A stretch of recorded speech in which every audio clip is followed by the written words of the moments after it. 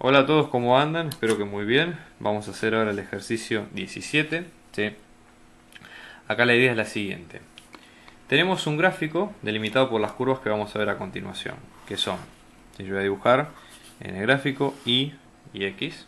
¿sí? La primera curva de todas que es raíz de x, ¿sí? que es, si ustedes observan la forma de la función, tiene esto. f es igual a raíz de x, que es la primera forma. La segunda, ¿sí? que es el semieje positivo, o sea, la recta x igual a 0. Y luego tenemos la, otra recta que es x igual a 4. ¿sí? Es una recta vertical que viene en este sentido. Entonces, lo que nos dicen acá es que se va a inscribir un rectángulo de unos determinados vértices que son, por ejemplo, yo voy a tomar un punto cualquiera, x0, que es este punto que está acá, el A, ¿sí? después tengo el B, que va a ser el 4, 0, ¿sí? luego tengo un punto C que es 4f de x, o sea que va a ser este punto donde está la intersección de los dos, 4f, ¿sí? y finalmente tengo el otro que es 4, 0, que es otro de los puntos que nosotros tenemos por acá. Entonces, 4, 0, eh, perdón, 4, 0, x, f de x, disculpen, que es este, el otro punto que nosotros habíamos calculado. ¿Ok? Entonces, este punto que nos piden, que sería x, f de x, está acá. Por ahora esto no tiene forma mucho de rectángulo, como yo lo dibujé, pero la idea es tratar de ver si existe la posibilidad de encontrar algo para el, por Entonces veamos a ver qué es lo que nos dan las opciones. Porque ya les digo, la, la, forma de la figura es así, pero tenemos que checarlo con los números. Entonces, la idea es, fíjense, si esto es un rectángulo, imagínense el rectángulo que nosotros tenemos acá. La idea es tratar de encontrar cuál es el área máxima de ese, de ese rectángulo. ¿ok? Entonces, por ejemplo, nosotros observen lo siguiente. ¿sí? La base ¿sí? va a valer, la base en este caso va a valer eh, desde, o sea, esta distancia que es 4 menos x, que es esta distancia chiquita. O sea, esta distancia que ustedes ven acá es 4 menos x, que es lo que ustedes ven en este sentido. Después acá el tema es que tenemos que ver qué es lo que pasa con la altura. Bueno, la altura en ambos casos es la imagen de x, ¿sí? la imagen de eh, de f en x, en, los dos casos. Entonces, por un lado, lo que nos dicen acá es que una de las, una de las alturas ¿sí? va a ser, o sea, de esa f en x, que es lo que nosotros vemos acá.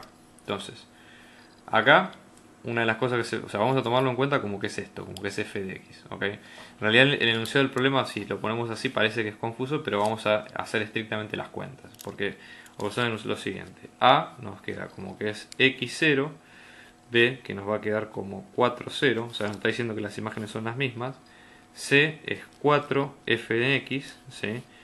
Y D nos dice que es x f en x. Con lo cual uno está tentado a pensar que, por ejemplo, este 4 es la misma imagen que tenemos acá y este, que cada uno se corresponde con cada uno. Pero supongamos que no es así, ¿sí? supongamos que no, se obedece a esto, que es lo primero que uno se imagina, y lo hacemos con esta forma. Entonces, ¿qué es lo que nosotros tenemos en cuenta? El área de un rectángulo es base por altura, empezando por ahí. ¿Sí? La base es 4 menos x y la altura dijimos que, como coinciden estos dos casos, va a ser f de x. Que f de x es raíz de x. Entonces el área va a quedar como 4 menos x por raíz de x. Entonces, el área acá va a ser 4 raíz de x menos x raíz de x. Cuenta al margen, x raíz de x mismo que decir x a la 1 por x a la 1 medio se suman los exponentes y va a quedar x a la 3 medios. Entonces el área nos va a quedar como 4 por x a la 1 medio menos x a la 3 medios.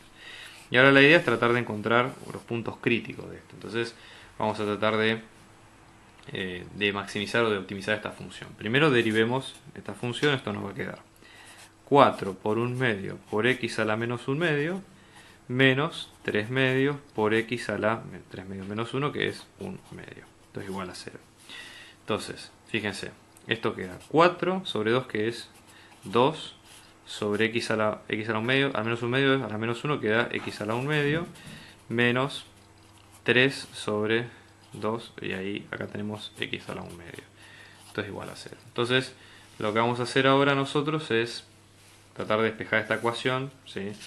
Yo voy a escribir para que quede un poco más claro. Esto nos va a quedar como 2 sobre x a la 1 medio menos 3 por x a la 1 medio sobre 2, esto es igual a 0. Bueno, voy a pasar uno de los términos, o sea, voy a hacer así. Sumo este término en ambos lados para sacarlo de este lado de la ecuación.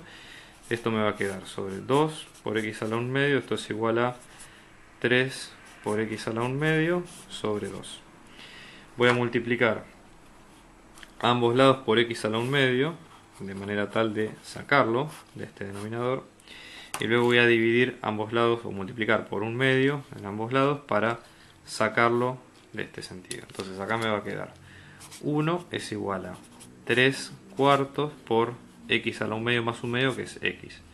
Acá lo que voy a hacer es multiplico por 4 tercios ambos lados y en este caso esto me va a quedar como x es igual a 4 tercios. Entonces, dicho esto, que x es igual a 4 tercios, vamos con, eh, o sea, con el f de x. ¿sí? F de 4 tercios, esto nos va a quedar como la raíz de 4 tercios, que esto nos va a quedar como 2 sobre raíz de 3, aproximadamente. Entonces, ¿cómo nos va a quedar el triángulo? Observen, el rectángulo. A, que era x0, va a valer 4 tercios 0. B, que era 4, 0, que sigue estando igual. Luego C, que esto vale 4, 2 sobre raíz de 3. Y después tenemos D, que vale 4, que vale, perdón, 4 eh, tercios y 2 sobre raíz de 3. Entonces se puede interpretar de esta manera. ¿ok?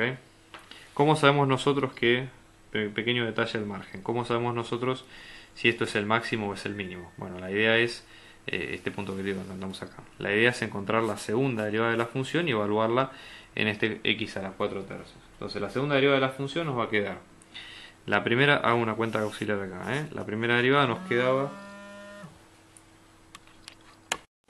si acá derivamos esta función, la segunda derivada nos va a quedar menos 2, 2 por menos 1 medio, esto es menos 1, por x a la menos 1 medio menos 1 que es menos 3 medios, menos 3 medios por x a la 1 medio. Entonces en este caso, evaluando la segunda derivada en 4 tercios, esto va a quedar como menos 1 sobre 4 tercios, eh, ¿cómo es? A raíz cuadrada de elevado al cubo, ¿sí? menos 3 medios por 4 tercios la raíz cuadrada en este caso. ¿sí? Entonces acá lo que nosotros tenemos es, fíjense, vamos a hacer la cuenta, por un lado, ¿sí? esto sería menos 1 eh, dividido. Esto es que nosotros tenemos la raíz de 4 tercios al cubo, ¿sí? En este caso nos queda menos 0,64 menos, y después tenemos, acá tenemos, ¿no? 3 medios por la raíz de 4 tercios. En este caso nos queda 1,70 y pico, con lo cual la segunda derivada nos da eh, menor a 0. Si nos da menor a 0, quiere decir que esto es un máximo. ¿sí? Entonces, a en 4, eh, en 4 tercios, que es el punto. Esto nos da menor a 0, con lo cual esta es el área máxima. El área máxima ocurre en x igual a 4 tercios y es lo que calculamos nosotros recién hasta ahora. ¿ok? Entonces, el área máxima, cuando nosotros encontramos los vértices, nada más. Entonces, el área máxima va a ser base por altura, ¿sí? que en este caso la base nosotros dijimos que era 4 menos 4 tercios, ¿sí? Por la imagen, que en este caso va a ser 2 sobre raíz de 3. En este caso 4 es 12 tercios, ¿sí? 12 tercios menos 8, 4 tercios es 8 tercios por 2 sobre raíz de 3, como esto nos queda 16 sobre 3 raíz de 3, aproximadamente. ¿sí? Espero que les haya gustado, este, este, nos vemos la próxima y suscríbanse para ver más trabajos como este.